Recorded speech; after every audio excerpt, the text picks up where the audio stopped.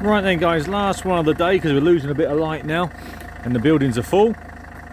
Uh, Range Rover Evoque, not our usual sort of thing, granted, but uh, entered by one of our classic car guys.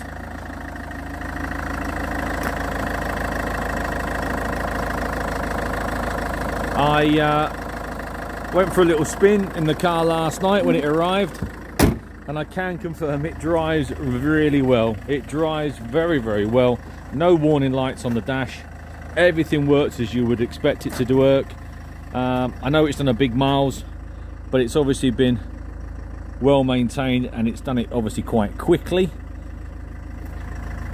And I think if they do it quickly, over a relatively short space of time, there's no more harm done, I think, than doing short journeys around town. I genuinely don't.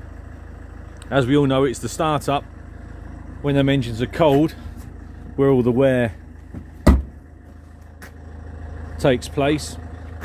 So basically, to a great extent, if you don't turn it off, you don't get any wear. So it's obviously been started and it's off, isn't it? And it's done some uh, obviously motorway miles, clearly you can't do these sort of miles on a country lane and have it looking like this so um, so there you are so a very sensibly priced Evoque I'd go as far as to say probably one of the cheapest on the market I haven't studied the market at the moment but you don't see many sub 10,000 pound Evoques as far as I'm aware good spec as well black on black Nice bucket seats, nice wheels. I think it looks the business. Look at that, they look nice. I'll take a few more photographs for you.